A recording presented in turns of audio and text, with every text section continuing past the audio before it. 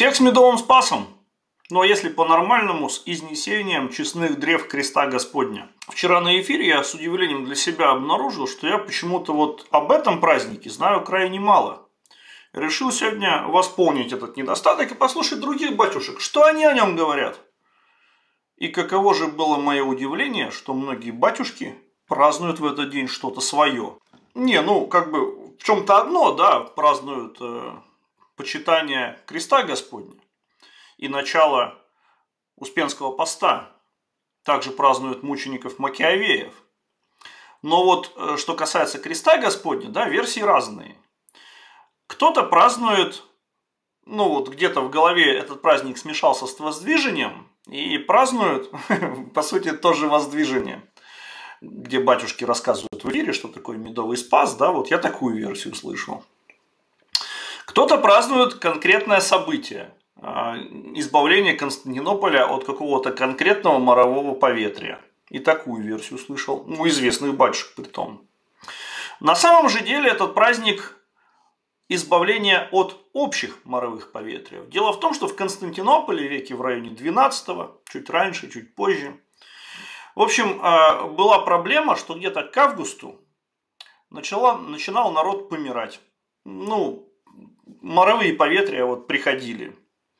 А, гигиены тогда особо не знали. Ливенгук еще не придумал микроскоп, чтобы посмотреть, что такие вот маленькие штучки там есть а, в этом, в невидимом для нас обычным зрением мире. И от этих маленьких штучек происходят очень большие проблемы. Это все тогда было неизвестно. И поэтому, чтобы моровые поветрия прекратились, прибегали в августе к помощи Божьей. Выносился из императорской сокровищницы крест Господень, и он а, обносился по городу, а, просили Господа заступничества. Те, кто умер от морового поветрия, служили литии об упокоении. То есть все вот эти пандемии – это не изобретение нашего времени, оно тогда все было. Просто тогда методы борьбы были несколько другими. Тогда люди обращались к Богу за помощью, а сейчас наоборот, в пандемию народ резко прекратил ходить в храмы. Но вот мы видим, что Константинополь выстоял. То есть обращение к Богу за помощью, оно имело свой эффект, и Константинополь продолжал жить. То есть народ вспоминал, что мы тут ну, не вечны, что наша жизнь достаточно хрупкая. Обращался к Богу за помощью, Господь избавлял Константинополь.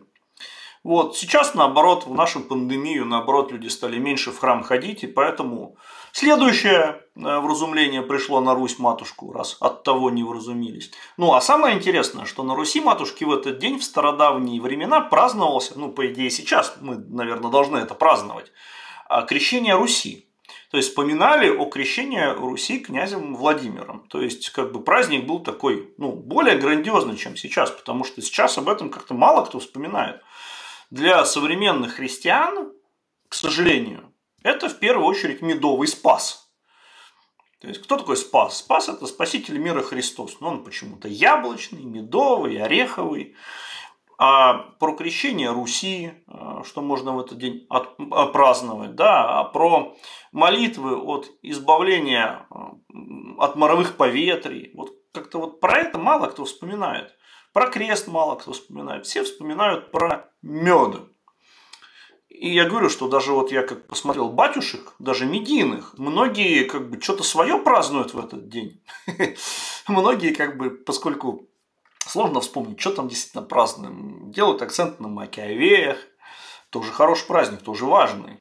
Но вот сам-то праздник, он больше про крест. Евангелие первым мы читали именно посвященное кресту. Само крещение Руси у нас теперь празднуется в другой день, в день э, равноапостольного князя Владимира. Но вот опять-таки можно э, в этот день праздновать воспоминания крещения Руси. Вспомнить, как Русь крестили, ну, как наши предки делали. Это тоже хорошее дело. То есть потенциал у этого праздника большой. Ну, в плане проповеди, в плане миссии, мне кажется, что действительно у праздника очень большой потенциал, но для всех он медовый спас, мед освещаем. То есть вот это на самом деле ну, немножко печальная тенденция. И опять-таки и нам, и священникам, и мирянам, потому что вот миряне почему-то ждут, что вот священники придут и всех просветят.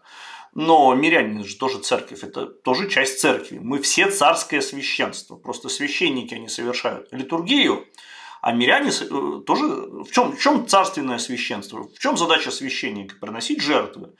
Жертва Богу дух сокрушен, сердце сокрушено и смиренно. То есть мирянин тоже приносит жертву. Он приносит жертвы, в жертву свое время Господу, свои молитвы Господу. То есть, как бы, тоже много чего приносит Господу. И задача и мирянина тоже а, проповедовать окружающим Христа.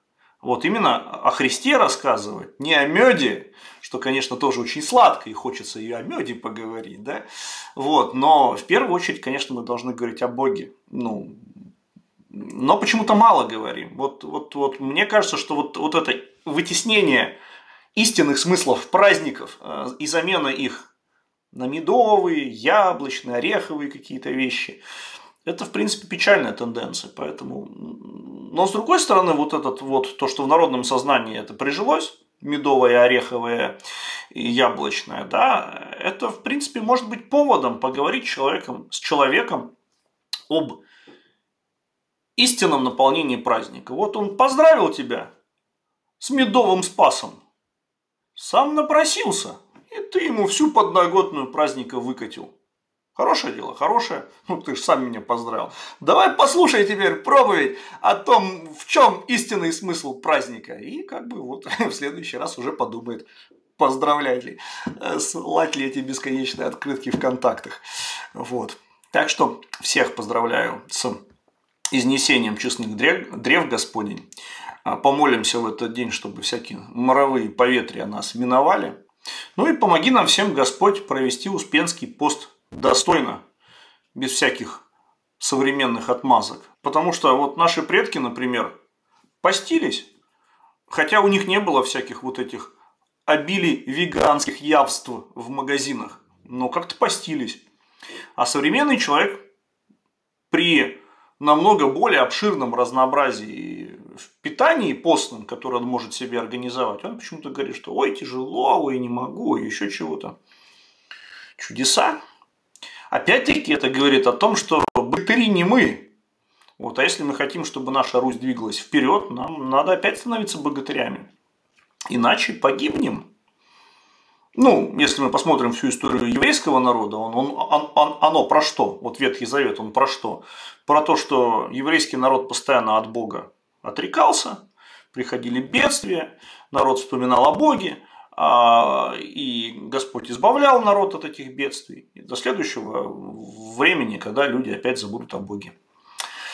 Ну а мы, христиане, мы наследники вот этого всего, что происходило в Ветхом Завете – Поэтому, как это не удивительно, но последствия, когда мы забываем Бога, они точно такие же. Поэтому вспомним Бога, все наладится. Будем продолжать забывать, все будет становиться только хуже. Такие дела. Подписывайтесь, и мы еще не раз увидимся и все важное обсудим, ну или хотя бы какую-то часть из всего происходящего важного. С вами был Ермонах Александр Митрофанов. Всех обнимаю. До встречи в эфире.